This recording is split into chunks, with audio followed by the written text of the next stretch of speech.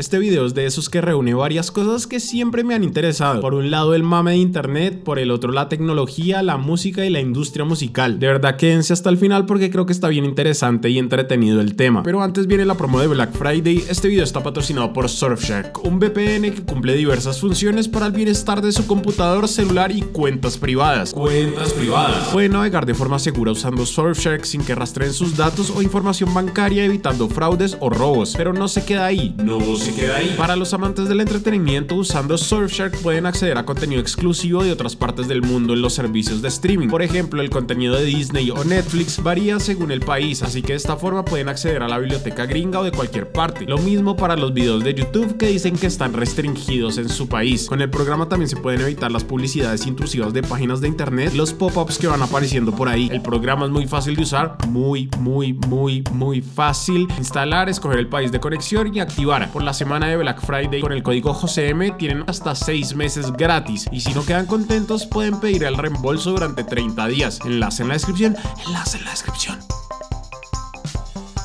Durante este año hemos visto la creciente tendencia de plataformas que hacen uso de la inteligencia artificial. Por un lado tenemos aplicaciones como ChatGPT en donde suceden conversaciones basadas en texto, en prompts, indicaciones. Luego tenemos los programas que producen imágenes como DALI, otros para video, etc. Hasta la suite de Adobe ha implementado nuevas funciones. Si quieren conocer un panorama general les recomiendo el video de Jaime Altozano. Acá me voy a enfocar principalmente en las implicaciones legales, éticas y cuestionamientos de lo que ha venido pasando las últimas semanas. Resulta que creadores de contenido slash artistas en TikTok están publicando canciones en las que utilizan estas herramientas, ya sea haciendo una canción de cero o con la voz de un artista reconocido sobre una canción propia. Está la supuesta canción de Drake Fit The Weeknd que se hizo muy popular globalmente. Una que le hicieron a los compatriotas Morat. La canción de Morat que no es de Morat. Porque si eres tú la que O el conocido tema de Flow GPT, Flow GPT, con la voz de Bad Bunny, tema que causó que él se rayara durísimo después, poniéndole estos comentarios a sus fans. Pero empecemos entendiendo que en la música desde hace años se viene estudiando el tema de inteligencia artificial. En 2016 un equipo de investigación de Sony CSL creó una canción basada en el catálogo de los Beatles que suena así.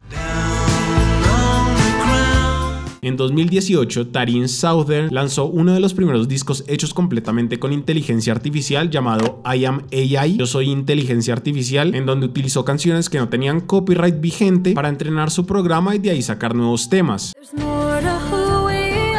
Y Paul McCartney hace poco utilizó inteligencia artificial para limpiar grabaciones antiguas, separar la voz de John Lennon muy bien y así reutilizarla. Y como estos deben haber ciertos de otros ejemplos no tan populares. Sin embargo, este año todo explotó cuando un usuario desconocido que se hace llamar Ghost Rider, haciendo referencia a los compositores fantasma que son quienes coescriben o escriben ciertas obras de otros artistas, lanza Heart on My Sleeve, lo que se podría considerar como la primera canción viral o realmente popular que hace uso de inteligencia artificial. En este caso, caso usando el timbre de voz de Drake y de The Weeknd.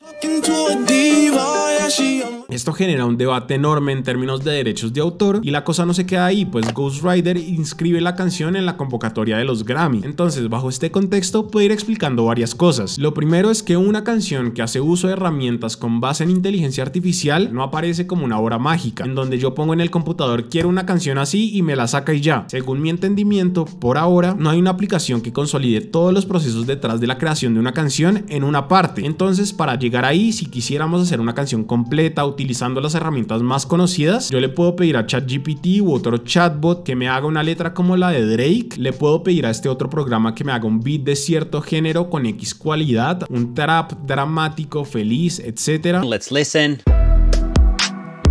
a otro que me haga una melodía principal, luego tratar de adecuar la letra a esa melodía y finalmente procesar mi voz y que quede como la de un artista X. Sin embargo, ese proceso no es solo un poco tedioso realmente, sino que ciertas aplicaciones no están lo suficientemente avanzadas para generar algo de calidad. Los beats pueden sonar algo genéricos, las letras también además de perder mucha sensibilidad y personalidad y la melodía puede no encajar con el beat, etc. Así que una de dos, o se edita y el punto importante del humano dentro de este proceso es ser el editor o ciertos procesos los hace la persona y otros se los deja la inteligencia artificial. Ese sería el caso de Ghost Rider y también el caso de Bad Bunny y su tema hiper viral por el cual regañó a Raimundo y todo el mundo. Tanto Ghost Rider como Flow GPT, el creador de la canción de Bad Bunny, produjeron el beat, lo hicieron, crearon la melodía de voz basándose claramente en el flow de los artistas y al final para lo único que utilizaron un programa de inteligencia artificial fue para clonar la voz del artista en cuestión. Es decir, mérito tienen, realmente produjeron el tema y lo compusieron. Por eso Ghost Rider pudo registrar la canción en los Grammy. Que vaya a ganar es otra cosa, yo lo dudo. No creo que mucha gente de la industria vote por esto porque se les mete al rancho. Aquí es donde vienen muchas preguntas que se están haciendo. Si la canción la hicieron ellos, ¿esto es ilegal? ¿Es ético? ¿Todo el berrinche de Bad Bunny es fundamentado o no? ¿Lo pudo haber tomado como un juego y ya está? ¿Acaso la canción es mejor que todo lo que ha hecho? Entonces, primero, hablando rápidamente del mame de internet, la reacción de Bad Bunny fue demasiado contraproducente. En un ámbito regular, esa canción habría sido tendencia unos días y como sucede en TikTok, en máximo dos semanas habría quedado de anécdota. Pero cuando una figura pública que últimamente no viene teniendo la mejor imagen, la mejor acogida, reacciona así, pues genera una pelea a la que no se le puede ganar con el internet. Y así sucedió, a partir del rant de Bad Bunny, se movió más la canción, se creó una casi tendencia que decía a Bad Bunny no le gustó, pero a mí sí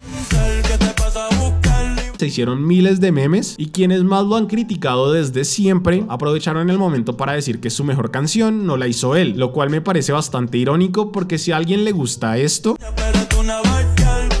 que está basado en el estilo de producción de algunas canciones de Bad Bunny, en la melodía, el flow y el chanteo de Bad Bunny y en la voz de Bad Bunny, es porque les gusta Bad Bunny al final del día, o por lo menos les gustó una etapa de su carrera. Ahora, en cuanto a lo legal, primero dejemos claro que estas son composiciones originales, así que temas de plagio no hay, y segundo, actualmente algo como el timbre de voz no se puede registrar, uno no puede registrar su voz, entonces por esos lados no hay problema. Sin embargo, hay otras aristas a los cuales los artistas pueden incurrir si quieren quitar estas canciones ir a juicio o lo que sea. Por ejemplo, para que los programas que usan inteligencia artificial puedan transformar la voz de uno a la de un artista, requieren cierta ingesta de información de ese artista, probablemente sus canciones. El programa recoge las canciones, aprende, se introduce la voz y luego la puede transformar. Y esas canciones con las que aprendió el programa tienen derechos de autor y si se necesita de un licenciamiento o permiso para ser usadas de esa forma. Así que hay un problema mayor. Si los artistas o las disqueras prueban que los programas utilizados por los productores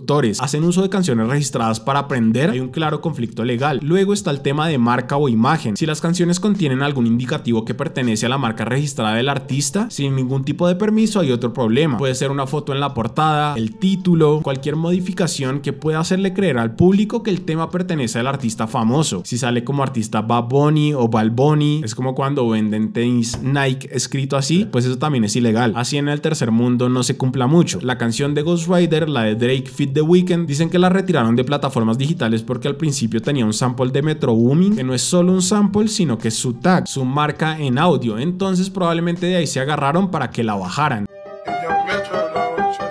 Como si alguien pusiera el Obion de Drums en una canción que no produjo Obion de Drums. Claramente la van a hacer desaparecer, a menos que el artista diga como, ok, todo está bien. Y por otra parte, en otros países, entre ellos Estados Unidos, hay algo que se llama derechos de personalidad o rights to publicity. Y acá es donde esto se pone más interesante aún. Son derechos que protegen a un individuo en contra del mal uso de su nombre, su likeness, que es como su agradabilidad, y otros rasgos de su personalidad. Por ejemplo, la empresa Frito Lay quería usar la voz del cantante Tom Waits en una canción de una propaganda sí o sí, a lo que el artista se negó rotundamente, no quiso participar y entonces Frito Lay muy lista dijo, pues no necesitamos a Tom Waits, vamos a contratar a alguien que lo imite y ya está. Esto claramente no le gustó al artista, llevó el caso a juicio, él siempre había sido abierto diciendo que no hace comerciales con marcas con las que no siente afinidad, ya había negado muchas otras propuestas, así que la corte llegó a la conclusión que Frito Lay se había apropiado de un rasgo distintivo del artista que perjudicaba su imagen y les tocó pagar 2.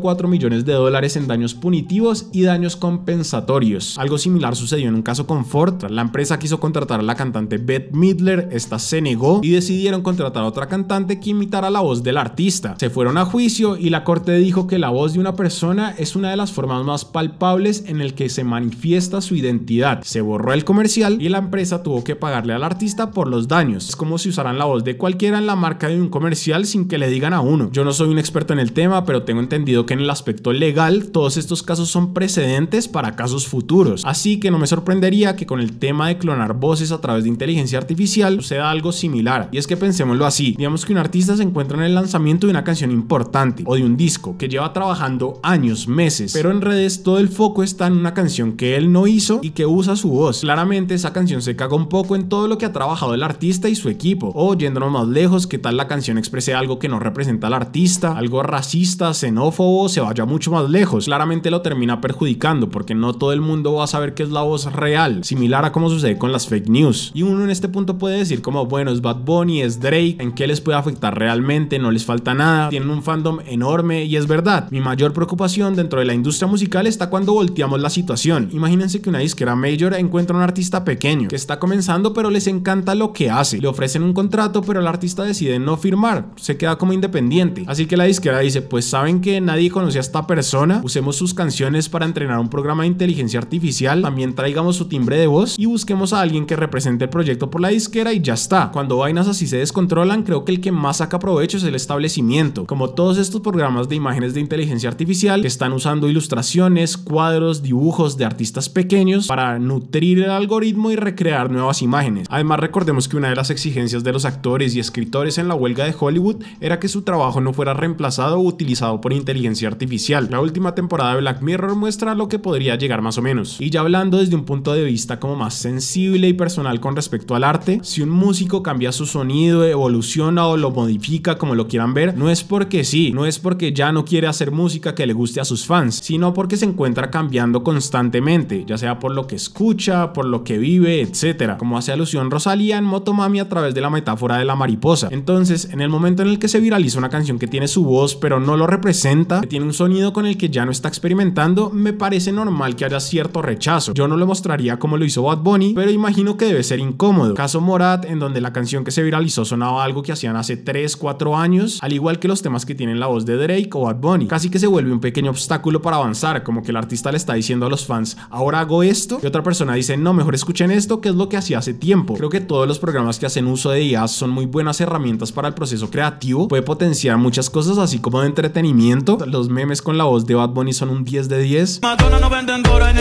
Y los artistas que hacen experimentos más serios en TikTok dudo que lo hagan con una mala intención, sino más bien como ejercicios de composición y producción o como una estrategia para sobresalir y mostrar al final su música, porque es una industria muy difícil, pero seguramente en un futuro van a haber más restricciones, porque así como se le puede enseñar a una IA a generar nuevas cosas, también se le puede enseñar a restringir. Entonces probablemente el Content ID de YouTube en un punto identifique timbres de voz, es algo que ya vienen trabajando con Universal y por otro lado proyectos como el de Grimes que alientan el uso de IA siempre y cuando las dos partes tengan un beneficio o YouTube está trabajando en una función para crear música usando voces de artistas famosos con los que previamente ha llegado a un acuerdo. Pero cuéntenme ustedes qué piensan de todo este tema, creen que Bad Bunny exageró con su reacción o no y tengo un anuncio especial, esto no es promo o bueno sí para mí, el jueves a las 8 pm Colombia, 7 pm México, voy a estar en la plataforma morada haciendo el primer envío oficial donde vamos a jugar un poco con estas herramientas, escuchar canciones al respecto, etcétera, etcétera. Así que nos vemos por ahí, me pueden encontrar como José M normal y como siempre dejen cualquier cosa en los comentarios, nos vemos la próxima si quieren este jueves en vivo. Chao.